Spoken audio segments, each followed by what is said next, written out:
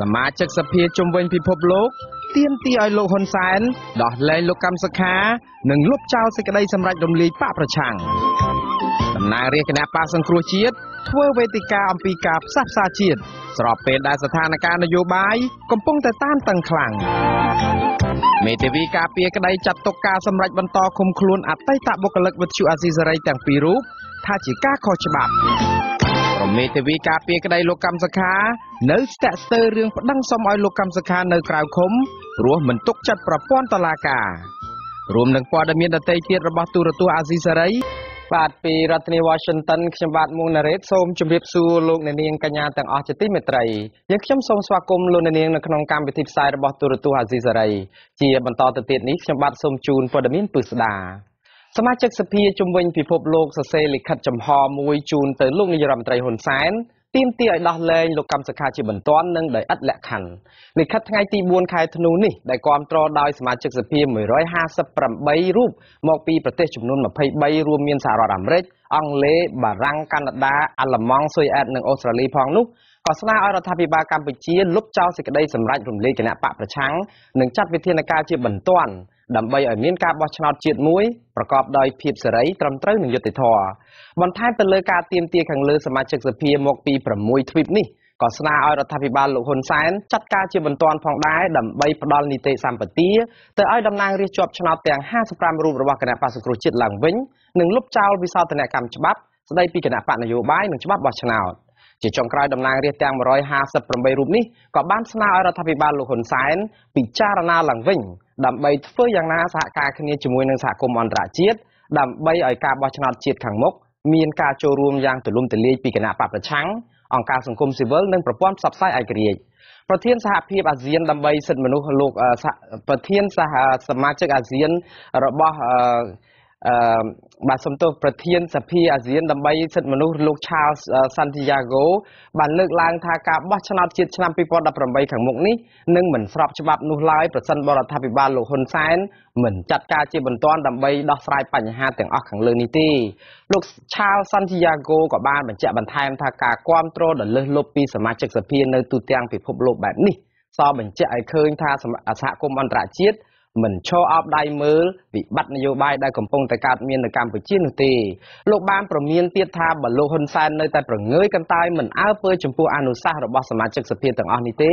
នោះលោកហ៊ុនសែននឹងក្លាយទៅជាមនុស្សដែលគេផាត់ចេញពីសហគមន៍អន្តរជាតិជាក់ជាមិនខាន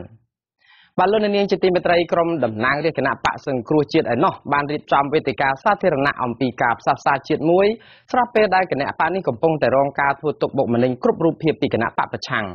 ពីគណៈបកកណ្ដាលអំណាចសំទោសនៅក្នុងវេទិកានៅទីក្រុង Lowell កាលពីថ្ងៃអាទិត្យទី3ខែវិច្ឆិកាម្សិលមិញនេះតំណាងរាជគណៈបកសង្គ្រោះជាតិលោកយ៉ែមបញ្ញរិទ្ធសូមចាត់ឲ្យសកម្មជននិងអ្នកគាំទ្រគណៈបកសង្គ្រោះជាតិកុំធ្វើដោយអ្វីដែលមន្ត្រីគណៈបកកណ្ដាលអំណាចកំពុងតែប្រព្រឹត្តមកលើខ្លួន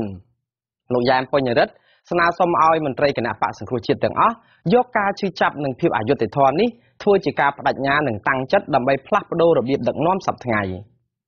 ខ្ញុំសូមចាត់ សូមចិត្តអស់លោកលោកស្រីមេត្តាចូលរួមក៏ប៉ុន្តែកុំប្រែខ្លាចកុំប្រែខ្លាចការរងគ្រោះដោយអយុត្តិធម៌បែបនេះទៅជាកំហឹងយើងអ្នកប្រជាធិបតេយ្យមានគោលការណ៍ច្បាស់លាស់នៅពេលណាដែលយើងឡើងដឹកនាំថ្ងៃនេះយើងរងគ្រោះដោយអយុត្តិធម៌ជាទីបំផុតថ្ងៃស្អែកយើងឡើងដឹកនាំយើងមិនទៅធ្វើឲ្យមានការរងគ្រោះបែបនេះទេនៅក្នុងសង្គមជាតិពេលលោកឡើងតាមទីផ្សេង កុំឲ្យយកការរងគ្រោះថ្ងៃនេះទៅជាគំនិតគិតថាពេលអញឡើងអញធ្វើសងសឹកវិញពេលនោះមិនចប់ទេសង្គមខ្មែរពេលនោះការផ្សះផ្សាជាតិមិនមានការឡើងបានទេត្រូវគិតផលប្រយោជន៍រួមយើងរងគ្រោះដោយអយុត្តិធម៌ថ្ងៃនេះថ្ងៃស្អែកយើងកុំឲ្យមានរឿងនេះកើតឡើងបាននឹងបានថាថាអ្នកដឹកនាំពិតប្រាកដយើងថ្ងៃនេះជួបជុំគ្នាគេបិទសិទ្ធយើងមិនឲ្យនិយាយ គេបិទសិទ្ធយើងមិនឲ្យជួបជុំខ្ញុំសូមសូមអស់លោកលោកស្រីមេត្តាចូលរួមទស្សនៈគំនិតមួយល្អណាស់ពីព្រោះអស់លោកនៅបាត់ណាក៏ដោយ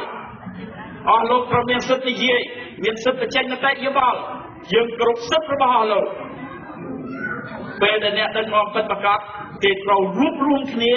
តស៊ូដើម្បីនរណាក៏ដោយក៏មានសិទ្ធិនិយាយដែរ មិនមែនបានន័យថាឲ្យតែខុសពីទស្សនៈគំនិតរបស់ខ្លួនព្យាយាមរករឿងបិទហាមឃាត់មិនឲ្យនិយាយមិនឲ្យផ្សព្វផ្សាយទស្សនៈគំនិតរបស់ខ្លួនតំណាងរាជគណៈបកសង្គ្រោះជាតិមួយរូបទៀតគឺលោកអ៊ូចន្ទរិទ្ធចាត់ទុកការបំបិតសិទ្ធិសេរីភាពនៅក្នុងការបញ្ចេញមតិមិនមែនជាដំណោះស្រាយដើម្បីសន្តិភាពនោះទេលោកបញ្ជាក់ថាសន្តិភាពនិងយុត្តិធម៌គឺទាល់តែអនុញ្ញាតឲ្យប្រជាពលរដ្ឋ លើកឡើងអំពីទុកកង្វល់និងបញ្ហាដែលខ្លួនមិនពេញចិត្តចំពោះទង្វើរបស់រដ្ឋាភិបាលបងប្អូនយើងឈឺចាប់ឈឺចាប់ជាមួយប្រជាពលរដ្ឋរាប់ទៀតនេះពេលណាយើងធ្វើការតវ៉ាប្រជាពលរដ្ឋធ្វើការតវ៉ាគេថាដើម្បីរក្សាសន្តិភាពរក្សាស្ថិរភាពត្រូវតែបក្រាប វាមិនដែលណារក្សាស្ថិរភាពសន្តិភាពបក្រាបគេមិនឲ្យគេតវ៉ាទេណែឯងបក្រាបគេមែនគេស្កាត់នឹងប៉ុនក្នុងចិត្តគេក្តៅអយុធធម៌មកចឹងបងប្អូនអានឹងមិនហៅថាសន្តិភាពទេសន្តិភាពលុះត្រាតែមានយុត្តិធម៌ឲ្យជាពលរដ្ឋរស់នៅដោយសុខសាន្តមានយុត្តិធម៌ទើបមានសន្តិភាពបាទ ហើយបក្រាគេមិនឲ្យជួបជុំមិនឲ្យតវ៉ាចាប់គេដាក់គុកអានឹងមិនមែនជាសន្តិភាពពិតប្រាកដទេចឹងហើយបានកម្ពុជាយើងចេះតែមានការតវ៉ាគ្រប់ចំនួនតបមកចោតណាតវ៉ាដល់នឹងជាខ្មាំងណាដល់នឹងជាស្រូវជនក្បត់ជាតិគណៈបកប្រជាជាតិដូចខ្ញុំជំរាបចឹង យើងដឹកនាំប្រទេសយើងបើកសម្ពោធផ្សេងបញ្ចប់បញ្ចប់ពីអតីតកាលទាំងអស់ហើយចាប់ប្រើប្រាស់ឡើងវិញបាទកសាងជាតិទាំងអស់គ្នាហើយគណៈបកពីជនមិនដែលត្រូវបានចាត់ទុកថាជាស្រីទេបងប្អូនចំពោះយើងគ្រាន់តែខ្មែរមួយក្រុមក៏មានទស្សនៈខុសពីយើងមិនចឹងទេគាត់យកថាដឹកនាំបែបគាត់ទៅជឿលឿនហើយល្អហើយអស់ព្រៃអស់ឈើអស់អីដែរល្អហើយណា បើយើងមានទស្សនៈខុសគ្នាដូច្នេះទស្សនៈខុសគ្នាក្នុងសង្គមមួយមិនមែនជាត្រូវទេបាទព្រោះប្រជាធិបតេយ្យមិនអាចមានទស្សនៈដូចគ្នាទេ បាទវេទិកាសាធារណៈដាច់ដោយឡែកមួយទៀតត្រូវបានរៀបចំឡើងដោយអង្គការសម្ព័ន្ធមិត្តខ្មែរអាមេរិកកាំងកាលពីថ្ងៃអាទិត្យទី3ខែធ្នូម្សិលមិញនេះដែរតែធ្វើនៅរដ្ឋ Virginia ក្បែររដ្ឋធានី Washington កញ្ញាកម្មមនោវិទ្យាដែលជាកូនស្រីច្បងរបស់ប្រធានគណៈបក្សសង្គ្រោះជាតិលោកកម្មសខាបានលើកឡើងអំពីកិច្ចខិតខំប្រឹងប្រែងរបស់មន្ត្រីគណៈបក្សសង្គ្រោះជាតិនៅក្នុងការតស៊ូមតិដើម្បីឲ្យអន្តរាគមមានពីសហគមន៍អន្តរជាតិមកលើរដ្ឋាភិបាលលោកហ៊ុនសែន កញ្ញាបញ្ជាក់ថាលទ្ធផលបានឃើញបណ្ដាបណ្ដាហើយតាមរយៈសេចក្តីថ្លែងការណ៍ថ្កោលទោសរដ្ឋាភិបាលលោកហ៊ុនសែននិងសេចក្តីសម្រេចលេខ279របស់ព្រឹទ្ធសភាអាមេរិកនិងជំនួបមន្ត្រីជាន់ខ្ពស់អាមេរិកជាមួយនឹងមន្ត្រីជាន់ខ្ពស់រដ្ឋាភិបាលកម្ពុជានៅទីក្រុងម៉ានីលកាលពីក្នុងជំនួបកម្ពុជាអាស៊ាន តំណាងរាជអាមេរិកលោក Alan Leventhal ឯណោះដែលបានចូលរួមដែរក៏បានលើកឡើងអំពីសារៈសំខាន់នៃសម្ពាធនិងទណ្ឌកម្មពីអន្តរជាតិទៅលើរដ្ឋាភិបាលលោកហ៊ុនសែនដើម្បីឲ្យស្ថានភាពនយោបាយនៅកម្ពុជាវិលត្រឡប់ទៅរកសភាពធម្មតាវិញលោកបញ្ជាក់ថាជំហានបន្ទាប់គឺសហរដ្ឋអាមេរិកត្រូវសហការគ្នាជាមួយនឹងប្រទេសសម្ព័ន្ធមិត្តនិងពិភពលោកដើម្បីចាត់វិធានការសមស្របលើរដ្ឋាភិបាលលោកហ៊ុនសែន តំណាងរាស្ត្រនិងមន្ត្រីគណៈបកសង្គ្រោះជាតិកំពុងតែរងទុក្ខបុកម្នេញយ៉ាងខ្លាំងនៅឯប្រទេសកម្ពុជាពួកគាត់ជាច្រើនអ្នកបានរត់ភៀសខ្លួនមកក្រៅប្រទេសដើម្បីអាចបន្តសកម្មភាពនយោបាយនេះបាន។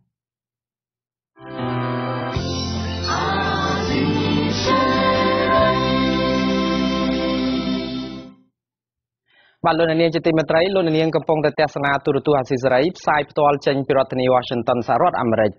ក្រុមមេធាវីការពារក្តីឲ្យលោកកម្មសខាកំពុងតែពិចារណាថាតើពួកគាត់នឹងដាក់ពាក្យប្តឹងសុំឲ្យលោកកម្មសខានៅក្រៅឃុំឬយ៉ាងណានៅឡើយដោយសារតែប្រព័ន្ធតុលាការមិនឯករាជ្យដែលធ្វើឲ្យពួកគាត់មិនមានសេចក្តីសង្ឃឹមថានៅក្នុងការដាក់ពាក្យបណ្ដឹងនោះទេលោកមេធាវីហែមសុជាតិអះអាងថាចក្រមស៊ើបសួរសាលាដំបងនិងអាយកា ទៅសាកសួរលោកកម្មសខាជាលើកទី2ហើយនៅខែថ្ងៃទី14ខែធ្នូខាងមុខនេះលោកមេធាវីហាមសុជាតិឲ្យដឹងនៅថ្ងៃទី4ធ្នូនេះថាចៅក្រមនិងតំណាងអាយកាសាលាដំបងរាជធានីភ្នំពេញមានគ្នា5នាក់បានទៅសាកសួរលោកកម្មសខារួចទៅហើយនៅក្នុងពន្ធនាគារត្រពាំង plong កាលពីថ្ងៃទី24ខែវិច្ឆិកានោះគឺសួររហូតដល់ទៅជាង20សំណួរពាក់ព័ន្ធទៅនឹងការចោទប្រកាន់ពីបទក្បត់ជាតិលោកមេធាវីបញ្ជាក់ថាលោកកម្មសខាបានឆ្លើយទៅតាមការពិត នៅអ្វីដែលលោកបានធ្វើកន្លងមកគឺដើម្បីលើកស្ទួយការយល់ដឹងរបស់ប្រជាពលរដ្ឋនិងលទ្ធិប្រជាធិបតេយ្យនៅកម្ពុជាតែប៉ុណ្ណោះលោកគ្មានធ្វើសកម្មភាពអ្វីក្បត់ជាតិដោយការចោទប្រកាន់របស់តុលាការនិងធ្វើឲ្យប្រទេសជាតិនេះអន្តរាយអ្វីនោះទេលោកមេធាវីបន្ថែមទៀតថានៅខាងចៅក្រមស៊ើបសួរគ្មានផុសតាងអ្វីផ្សេងក្រៅតែពីវីដេអូឃ្លីប រយៈពេល2 3នាទីដែលលោកកម្មសខានិយាយពីការអប់រំអំពីសិទ្ធិមនុស្សនិងលទ្ធិប្រជាធិបតេយ្យនោះឡើយលោកបានហៅការខាត់ខ្លួននិងការឃុំខ្លួនលោកកម្មសខាថាជារឿងខុសច្បាប់ហើយជារឿងនយោបាយក្រុមមេធាវីរបស់លោកកម្មសខាបានចាញ់ក្តីនៅសាលាធម៌ម្ដងរួចទៅហើយហើយក៏នៅសាលាកំពូលនឹងក៏ចាញ់ក្តីដែរកាលពីខែវិច្ឆិកាតកតទៅនឹងការប្តឹងប្រឆាំងទៅនឹងការឃុំខ្លួនលោកកម្មសខានេះក្រុមមេធាវីលើកឡើងថាការឃុំខ្លួនលោកកម្មសខា ជាការឃុំខ្លួនរំលោភសិទ្ធិឯកជនផងនិងរំលោភរដ្ឋធម្មនុញ្ញផងចំពោះការរំលាយគណៈបកសង្គ្រោះជាតិនិងការយកអាសនៈសភាគណៈបកសង្គ្រោះជាតិទៅចែកជូនគណៈបកដែលមិនជាប់ឆ្នោតកាលពីការបោះឆ្នោតឆ្នាំ2013នោះលោកកម្មសខាមិនភ្ញាក់ផ្អើលអ្វីឡើយព្រោះលោកចាត់ទុកថានេះក៏ជារឿងនយោបាយដែរ បាទលោកនាងជាទីមេត្រីលោកមន្ត្រីនៅថ្នាក់ក្រោមរបស់គណៈបកប្រជាជនកម្ពុជានឹងនៅតែបន្តដើរអូសទាញនិងទិញទឹកចិត្តក្រុមប្រឹក្សាគុំសង្កាត់របស់គណៈបកសង្គ្រោះជាតិដដែលតាមរយៈសារបែកធ្លាយថ្មីថ្មីនេះរបស់មន្ត្រីគណៈបកប្រជាជនកម្ពុជាដែលព្យាយាមលបួងប្រធានក្រុមប្រឹក្សាគុំសង្កាត់របស់បកប្រឆាំងនៅខេត្តសៀមរាបត្រូវបានគេចែកចាយព្រមព្រៀតនៅលើបណ្ដាញសង្គម Facebook សម្លេងដែលមានរយៈពេលជិត30នាទីដែលសន្ទនាបញ្ចុះបញ្ចូលឲ្យចុះចូលតាមទូរស័ព្ទត្រូវបានមន្ត្រីបកកណ្ដាលអំណាចដែលគេមិនស្គាល់ឈ្មោះបានដំឡើងថ្លៃខ្លួនឲ្យបកប្រឆាំងរហូតដល់2000ដុល្លារឬក៏អាចមានមុខតំណែងជាមនុស្សដែលចាំជួយផ្ដល់យោបល់ពីក្រោយខ្នងឲ្យលោកនាយករដ្ឋមន្ត្រីហ៊ុនសែនជាដើម។ សមាជិកក្រុមប្រឹក្សាគុំសង្កាត់ម្នាក់នៅក្នុងចំណោមសមាជិកផ្សេងទៀតរបស់គណៈបកសង្គ្រោះជាតិប្រចាំខេត្តសៀមរាបដែលត្រូវបានបកប្រជាជនកម្ពុជាទិញទឹកចិត្តនោះបានព្យាយាមបដិសេធមិនទទួលយកតំណែងនោះទេហើយបដិសេធជាបន្តបន្ទាប់អ្នកវិភាគមើលឃើញថាការចោះចូលរបស់សមាជិកគណៈបកសង្គ្រោះជាតិលើកនេះខុសពីលើកមុនមុន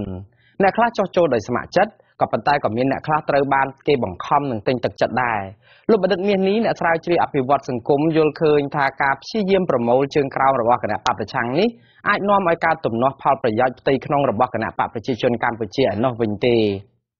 បាទលោកនាងជាទីមេត្រីអស់ពីការធ្វើទុកបុកម្នេញមកលើខាងគណៈបកសង្គ្រោះជាតិឥឡូវមកមើលការធ្វើទុកបុកម្នេញមកលើខាងមន្ត្រីប្រព័ន្ធផ្សព្វផ្សាយវិញម្ដង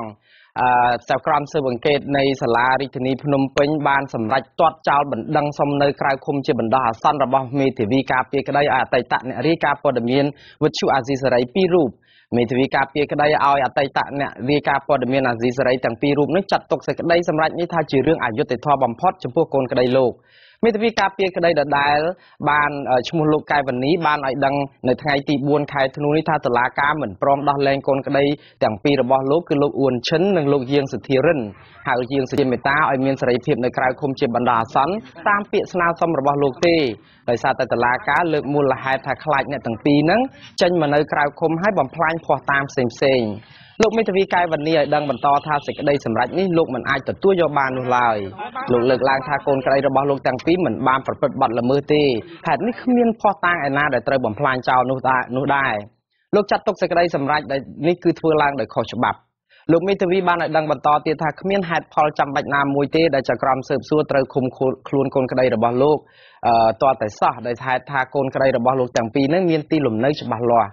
លោកអ៊ុនឈិននិងលោកយាងសុជាមេតាហៅយាងសុធារិនត្រូវបានកម្លាំងនគរបាលក្រុងភ្នំពេញចាប់ខ្លួនកាលពីព្រលប់ថ្ងៃទី14ខែវិច្ឆិកានៅក្នុងផ្ទះសំណាក់មួយឈ្មោះថាម៉ារ៉ាឌីជិតគល់ស្ពានស្ទឹងមានជ័យក្រុងភ្នំពេញមកដល់ថ្ងៃច័ន្ទទី4ខែធ្នូមានរយៈពេល21ថ្ងៃហើយដែលតុលាការបានឃុំខ្លួនអ្នកទាំងពីរ បាទលោកនាងជាទីមេត្រីគណៈកម្មការដោះស្រាយផលប៉ះពាល់នៅឯខេត្តស្ទឹងត្រែងសម្រាប់មិនទទួលខុសត្រូវរាល់ការបាត់បង់ផលប្រយោជន៍ពលរដ្ឋដែលបដិសេធមិនទទួលសំណងនោះទេគណៈកម្មការនេះបានដាក់អសានុវិទ្យនៃការបិទបញ្ចប់ដំណោះស្រាយផលប៉ះពាល់ទំនប់វារីអគ្គិសនីសេសានក្រោម2ត្រឹមថ្ងៃទី31ធ្នូឆ្នាំ2017កន្លងទៅនេះពលរដ្ឋដែលរងគ្រោះដោយសារទំនប់វារីអគ្គិសនីសេសានក្រោម2និងអ្នកឃ្លាំមើលបរិស្ថានចាត់ទុកការបដិសេធមិនសាងសង់ភូមិថ្មីជូនពលរដ្ឋដែលមិនទទួលយកសំណងនេះគឺជាទង្វើល្មើសបទបញ្ជារបស់ប្រមុខរដ្ឋាភិបាលកាលពីខែតុលាឆ្នាំ2017លោកនាយរដ្ឋមន្ត្រីហ៊ុនសែនបានសម្ពោធបិទទ្វារទឹកទំនប់វារីអគ្គិសនីសេសានក្រោម2ជាស្ថាពរនៅពេលនោះលោកបញ្ជាក់ថារដ្ឋាភិបាលសម្រេចអនុញ្ញាតឲ្យអ្នកភូមិដែលបដិសេធមិនទទួលសំណងរស់នៅភូមិស្រែកនិងភូមិក្បាលរមៀសចាស់អាចតាំងទីលំនៅនៅភូមិថ្មីបានពលរដ្ឋបដិសេធមិនទទួលរស់នៅភូមិក្បាលរមៀចាស់លោកប្រាច់រិទ្ធឲ្យដឹងនៅថ្ងៃទី4ខែវិច្ឆិកាថាពលរដ្ឋ57គ្រួសារប្រកាន់ជំហរក្រាញនានាលមិនចាក់ចេញពីភូមិទេដោយសារតែពួកគាត់មិនអាចបោះបង់ចោលប្រពៃណីវប្បធម៌ដីព្រៃឈើភ្នៅដូនតានិងភូមិកំណើត លោកបញ្ជាក់ថាអ្នកភូមិក្បាលរមៀសចំនួនមួយចំនួនហ្នឹងគឺបាត់បង់ដីធ្វើកសិកម្មនិងខូចខាតផលដំណាំនៅគ្រាដែលក្រុមហ៊ុនបិទទ្វារទឹកជាស្ថាពរលើសពីនេះទៅទៀតអ្នកភូមិខ្លះក៏មករស់នៅដីចំការវិលជុំនិងមួយចំនួនទៀតមកសង់ខ្ទមនៅទួលខ្ពស់ជាបណ្ដោះអាសន្នអ្នកខ្លាំមើលបរិស្ថានលោកប៊ូបន្ថានភូបន្ថានយល់ថាអាជ្ញាធរនិងក្រុមហ៊ុនគួរតែទទួលយកសំណូមពរពលរដ្ឋដោះស្រាយនិងអនុវត្តបញ្ជាប្រមុខរដ្ឋាភិបាលដែលផ្ដល់ឱកាសឲ្យពលរដ្ឋរស់នៅក្បែរភូមិចាស់ជាទឹកដីកំណើតរបស់ពួកគាត់។ របាយការណ៍អាជ្ញាធរឃុំស្រែកឲ្យដឹងថាមកទល់ពេលនេះពលរដ្ឋរស់នៅឃុំក្បាលរមាស57គ្រួសារនិងឃុំស្រែក50គ្រួសារមិនរាប់បញ្ចូលពលរដ្ឋបំបីគ្រួសារនៅមិនទាន់យល់ព្រមទទួលសំណងពីក្រុមហ៊ុននៅឡើយទេទំនប់បារីកេសនីសេសានក្រោម2គឺជាគម្រោងខ្នាតធំទី1នៅប្រទេសកម្ពុជាដែលចំណាយប្រាក់ជាង800លានដុល្លារគម្រោងនេះបង្កផលប៉ះពាល់ដល់ប្រជាពលរដ្ឋជាង1000គ្រួសារនៅភូមិចំនួន7ក្នុងឃុំចំនួន4នៃខេត្តស្ទឹងត្រែង។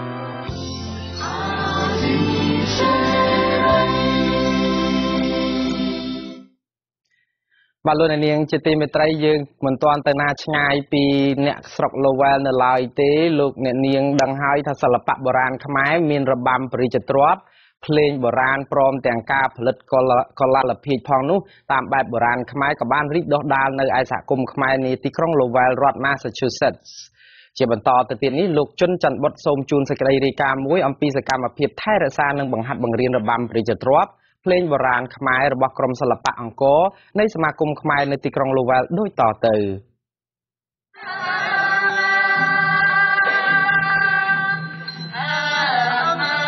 របាំព្រះរាជទ្រព្យឬរបាំបុរាណខ្មែរត្រូវបានពិភពលោកទទួលស្គាល់ថាជាបេតិកភណ្ឌពិភពលោក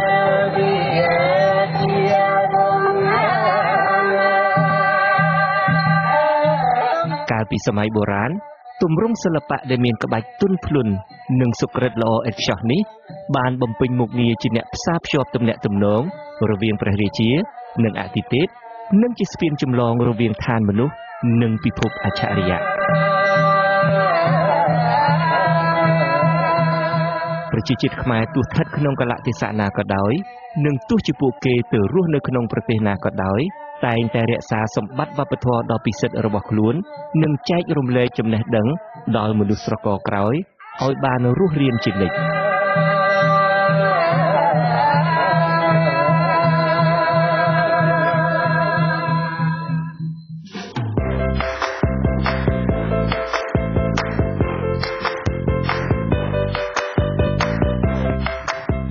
នៅក្រុង Lowell រដ្ឋ Massachusetts ទីដែលមានពលរដ្ឋខ្មែររស់នៅច្រើនទី2នៃសហរដ្ឋអាមេរិកលោកទីមធូគឺជាអ្នកផ្ដួចផ្ដើមប្រឹងប្រែងប្រោះព្រំឲ្យរបាំព្រះរាជទ្រព្យព្រមទាំងតន្ត្រីបុរាណខ្មែររីកដុះដាលឡើង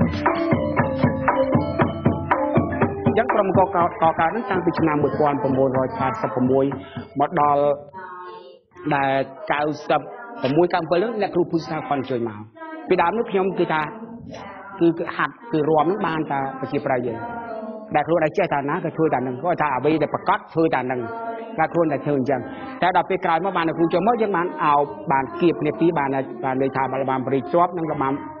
ពុកប្រជាប្រិយនឹងដែលប្រពៃនេះនឹងបានរួមគ្នាធ្វើដូចជាធ្វើឲ្យ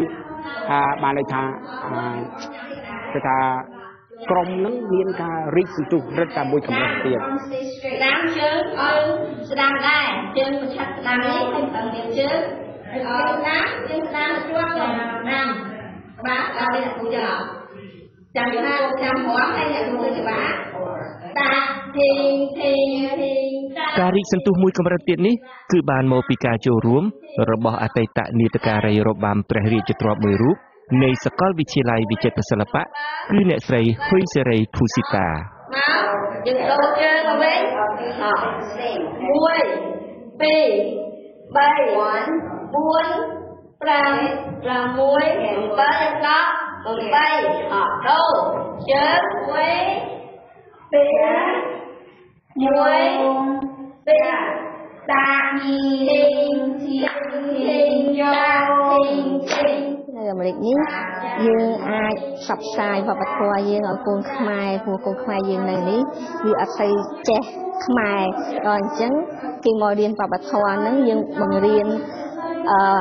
ដំផងបរៀនការនិយាយពីការសំពះរបៀបអង្គុយយ៉ាងម៉េចយ៉ាងម៉េចយើងបង្រៀនទាំងអស់អំពីវប្បធម៌ខ្មែរនេះខ្ញុំសប្បាយចិត្តព្រោះអ្នកខ្លះឪពុកម្ដាយអត់ចេះនិយាយខ្មែរអញ្ចឹងឃើញអញ្ចឹងគេស្រឡាញ់តែយើងអាចបណ្ដុះបណ្ដាលឲ្យកូនខ្មែរនៅ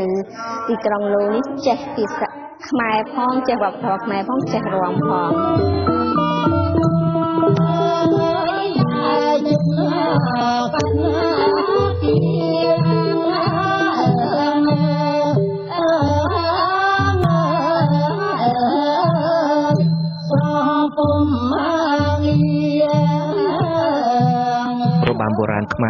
មែរមានតួអង្គ4ជាសំខាន់ គឺតួស្រីតួនាងតួប្រុសនាយរោងតួយក្សនិងតួស្វាហនុមានរបាំបុរាណខ្មែរមានភាសាជាក់លាក់សម្ដែងចេញតាមទឹកមុខនៃសិល្បករសិល្បករនីផង និងតាមរយៈកាយវិការនៃដៃជើង និងក្បាលផងម្រាមដៃនៃនាដការីជាពិសេសជួនជីបជួនលាបត់ពុតពេនទៅតាមក្បាច់និងចង្វាក់មួយដ៏សុក្រិត អមជាមួយនឹងការបញ្ចេញទឹកមុខឲ្យសមទៅនឹងភាសានៃកាយវិការនោះផង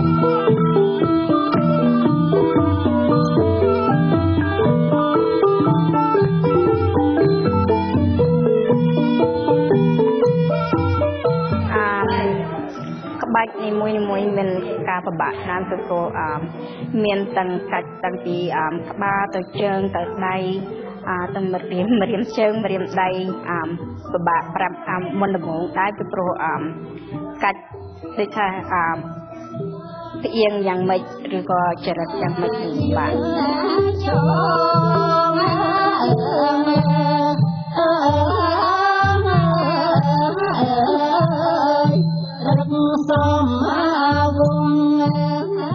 ហាត់ទី1សម្រាប់សិស្សដែលរៀនរបាំបុរាណខ្មែរគឺការហាត់ពុតដៃជើងនិងដងខ្លួន ជាមូលដ្ឋានមួយចំនួន ដែលគេហៅថាក្បាច់បាតការហាត់រៀនរបាំបុរាណខ្មែរទាមទារឲ្យមានការព្យាយាមអត់ធ្មត់រយៈពេលយូរចំណុចនេះហើយដែលអ្នកគ្រូស៊ីតាមានការលំបាកខ្លះក្នុងការបង្ហាត់បង្រៀនកូនខ្មែរនៅសហរដ្ឋអាមេរិកព្រោះនៅស្រុកខ្មែរយើងអាចវាយអាចជាអាចស្ដីខ្លាំងប៉ុន្តែនៅនេះអឺបងនឹងស្រាប់ហើយថា កូនគេកុំឲ្យប៉ះទេតែហ៊ានវាយសម្លេងធំនឹងស្រួលចូលគុកហើយដូច្នេះយើងត្រូវមានការថ្នាក់ថ្នមយើងត្រូវមានការលួងលោមទាំងការស្ដីខ្លះទៅជាងការអ្នកខ្លះគេពេញចិត្តដូចថាដូចថាហៅ គេហៅស្គួយដូចថាវាជំយើពេកអញ្ចឹងប៉ះអត់បានទេដល់អញ្ចឹងប៉ះអត់បានសិស្សដែលប៉ះអត់បានរួមអត់ល្អទេយើងចង់ឲ្យគេល្អយើងប៉ះយើងកាច់ខ្លាំងទៅគេយំដូច្នេះពិបាកណាស់ហើយលួងលោមអ្នកខ្លះលួងលោមបានទៅពង្រុញឲ្យប្រធានគេកសាងទេហើយដូចថាវាយើងស្ដីទៅវាតមវាក់ទៅវិញទៅមកអានឹងការការពិបាកយើងបង្ហាត់ចង់ឲ្យល្អទៅជា អ្នក professional ហ្មងវាពិបាកវាមិនដូចនៅស្រុកខ្មែរទេចាចាក៏ជិះជិះមួយមួយណាពីរបីជិះមួយមួយដៃដៃណាមួយមួយដៃណាមួយដៃណាមួយដៃដៃយ៉ា No, I just I was on the top. ការចូលរួមរបស់មាតាបិតាសំខាន់ណាស់ក្នុងការហាត់រៀននេះអមខ្ញុំចង់ឲ្យកូនខ្ញុំរៀនអមវប្បធម៌ខ្មែរអមចង់រៀនរបៀបរបបខ្មែរដែលដែលខ្ញុំមិនអាច បរិយាកូនបានព្រោះខ្ញុំកើតនៅស្រុកនេះទៅខ្ញុំផ្លិចអឺវប្បធម៌ខ្មែរច្រើនណាពេលខ្ញុំនាំកូនខ្ញុំមកនេះខ្ញុំថាដូចឲ្យជួយរំលឹករំលឹកឲ្យបរៀនគ្នាឲ្យចេះវប្បធម៌យើង